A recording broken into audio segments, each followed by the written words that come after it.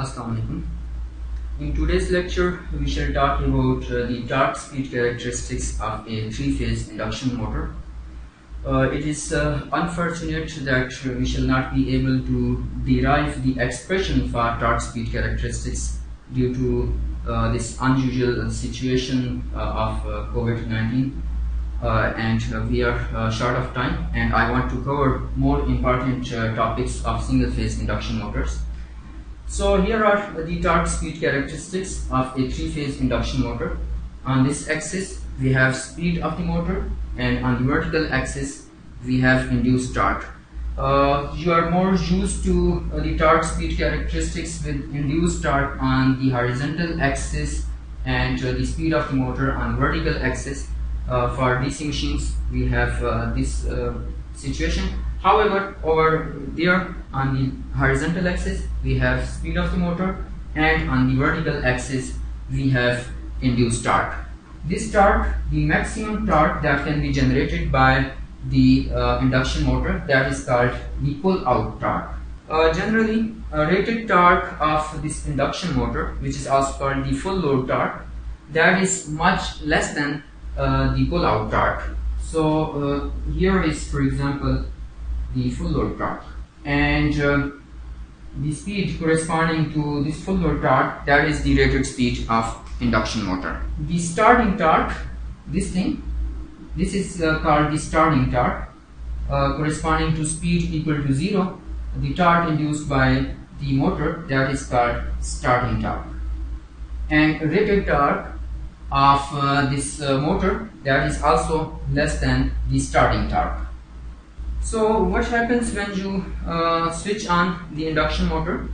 So if you have connected for example the uh, rated torque to the motor uh, initially at zero speed induced torque will be greater than the uh, load that is connected to the motor. So what will happen? Uh, induced torque is larger than the load torque therefore uh, rotor of this induction motor that will gain its speed and as it gains speed uh, here on this axis we have speed so as it gains speed induced torque is also increased. And we have a larger difference between the induced torque and the uh, applied torque load torque. Therefore the motor will accelerate. It will gain speed speed will increase. And as speed increases the induced torque will also increase and the motor will further accelerate. And then uh, we will have this situation the maximum torque and maximum difference between uh, the load torque. So induced torque is still uh, much much larger than the load torque. Therefore um, rotor will further it will gain speed. Uh, as uh, it gains speed beyond this point now induced torque there is no more increase in, in induced torque. Rather it's it gets decreased.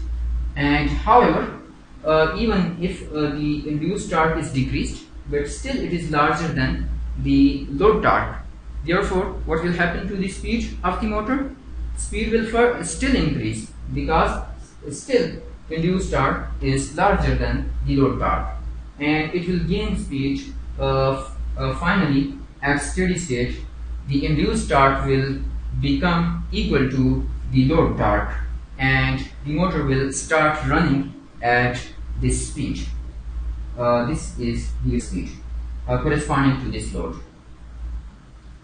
As you know, already know that uh, uh the uh, induction motor can never uh, get synchronous speed even if you have not connected any external load still due to inertia of the rotor and friction between the moving parts still some load is connected Ideally, if there is no load, uh, also no inertia of the rotor and no friction in the motor, then the motor can run at synchronous speed. However, because we have inertia of the rotor and friction of the moving parts, uh, even if there is no external load, still there is some load of the motor itself and uh, that is if no external load is connected, the motor will be running at near synchronous speed but not exactly equal to the synchronous speed. So this is uh, the uh, situation when you uh, apply some when you connect some load to the motor. So this is the starting procedure. Uh, the same for example if you have connected load less than the rated uh, load that is you have connected this much load again the same situation will occur. Uh, after transients the induced torque will again become equal to the load torque and motor will start running at uh, this speed. The speed uh, corresponding to the situation when induced torque becomes equal to the load torque so what will happen if uh, you apply a load torque which is larger than the starting torque for example uh, this is the load torque so obviously uh, uh motor cannot run because this induced torque is less than the load torque so motor will not start and it cannot be it will not be able to carry this load. However if the motor is running for example running at this rated speed and you gradually increase the load so what will happen to that situation? Uh, that is you have connected uh, this much load and uh, the motor gained steady state conditions. So, so motor was running at this speed and you increase the load torque. What will happen? So as you increase the uh, load torque uh, here this was induced torque uh, this was uh, the induced torque and you increase the load torque. So load torque is larger than induced torque so speed will decrease. Speed will decrease. But as speed decreases induced torque will also increase. So if you so motor will start running at new steady state conditions. If you further increase the load uh, the speed will further decrease induced torque will further uh, increase and again the motor will start running at new steady, steady state speed. Further increase in the uh, load torque for example you apply this much load torque again after transients induced torque will become equal to the load torque and motor will start running at new states steady state condition. So although the uh, motor was not able to carry this much load uh, at the start however if the motor is running and you increase the load torque it can even carry a torque larger than the starting torque. So this is the maximum torque which is called the pull-out torque which the motor can carry. If uh, uh, you apply this much load torque, this much load torque to the motor, uh, then it will be induced torque will also become equal to this one and motor will be running at this speed.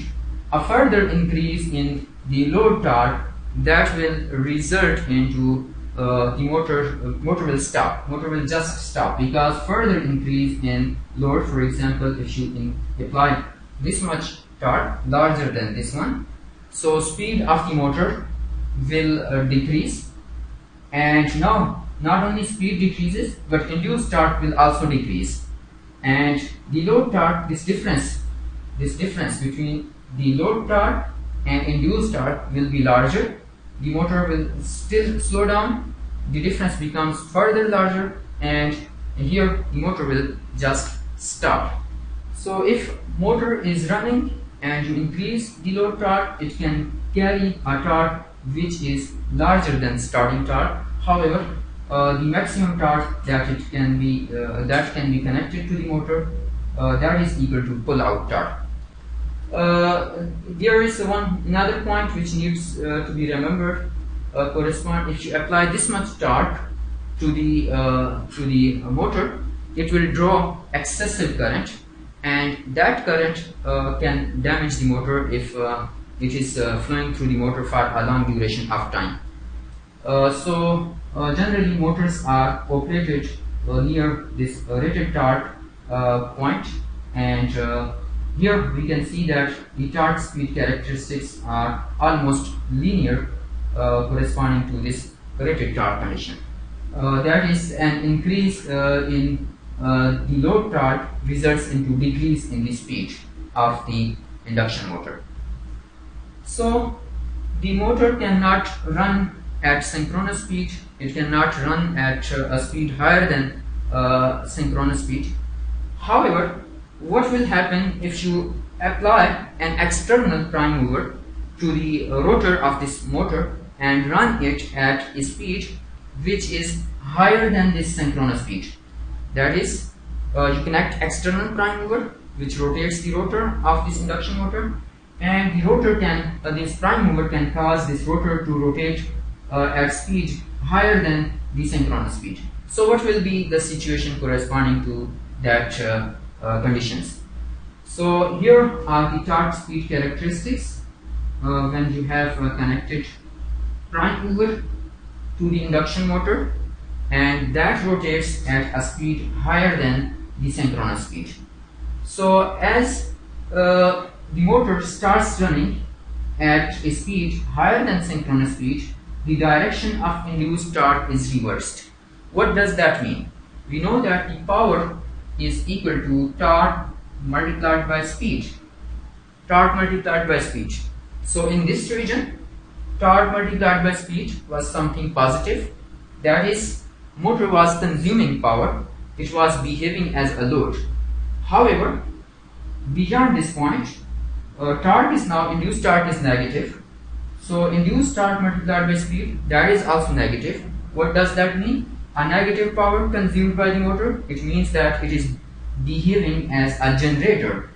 So, so this is the region where the motor generates power. Uh, and this is called induct induction generator. Although induction generators are very rarely used, uh, however, this machine uh, you can also have uh, this uh, can work as induction generator so is that point clear that is if you increase the speed of the rotor by some external prime mover this machine will behave as a generator which is called induction generator. It will produce electrical power. So these are the torque speed characteristics of three-phase induction motor. In uh, next uh, part of uh, the lecture we shall uh, talk about uh, single phase induction motors. Single phase induction motors are most commonly used in home appliances and uh, we shall have uh, a few lectures on uh, single phase induction motors.